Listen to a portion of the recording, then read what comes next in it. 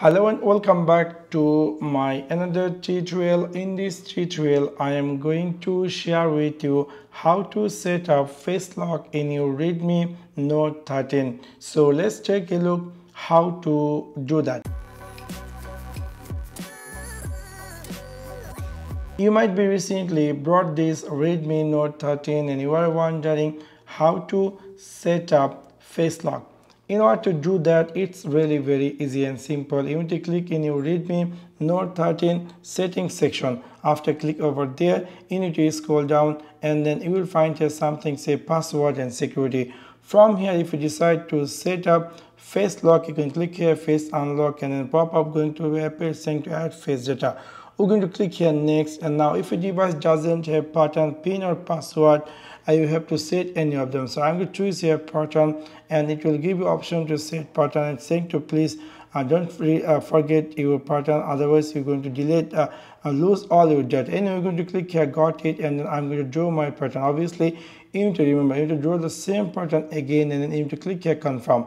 Now it will give you option to set up your uh, face lock. So i'm going to click here start and then again saying to face unlock is less secure than a pin. Anyway it will give you option after four seconds. You're going to click here next and then you're going to see this device is going to be recognize my face. After done recognize is saying to edit face done now if i go down and then it's saying to unlock using face data and stay on lock screen after unlock so this will i will suggest you to turn this off so what will help you whenever this device is uh, uh, uh, recognize your face is going to directly unlock and it will direct take you to home screen anyway i'm going to go back and then I'm going to try to lock my phone and I'm going to try to unlock. Let's see this device is unlocking very fastly or not. You can see this device is recognize my face very fastly and it's going to be unlocked very fast. Even I, I can't see any animation in this uh, uh, camera section. Anyway also you can unlock your device with alternate way that we have set up pattern.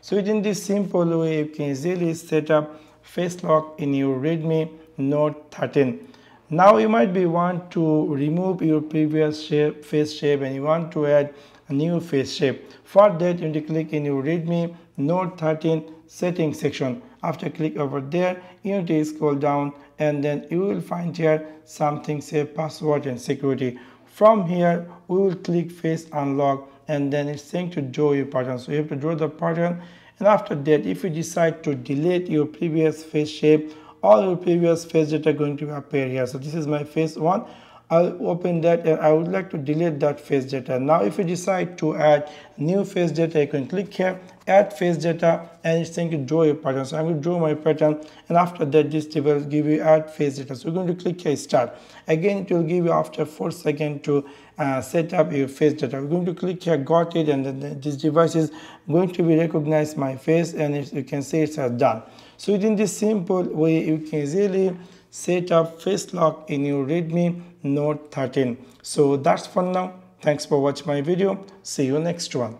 Peace.